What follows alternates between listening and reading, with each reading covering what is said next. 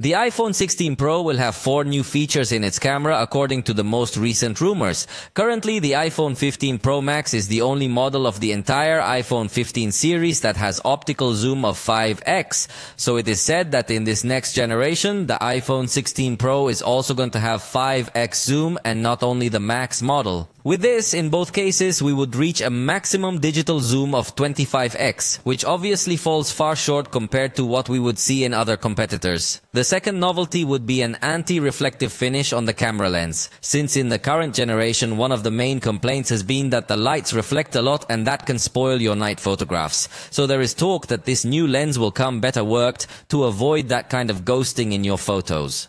There is also talk that the main camera sensor would be improved by incorporating the latest Sony technologies that have allowed a much greater light capture thanks to the separation they have of the different layers of these sensors. Speaking specifically at the level of diodes and transistors that with the latest technologies developed by Sony have managed to separate into different layers these important components. Now the photodiodes are individual in one layer and therefore are able to capture much more illumination. Finally, it is also said that the ultra-wide camera will have a 48 megapixel sensor and that means that it will be able to give us better pictures at night. Also, the high resolution mode would be available, but it would also allow recording spatial video in 4K, as currently the 15 Pro Max model can only record spatial video in full HD. If you do not know what spatial video is, it is these videos that would have the depth information to then view them on the Apple Vision Pro and have a feeling of being in that same moment. These are the four new features that are expected to be enhanced in this iPhone 16 edition.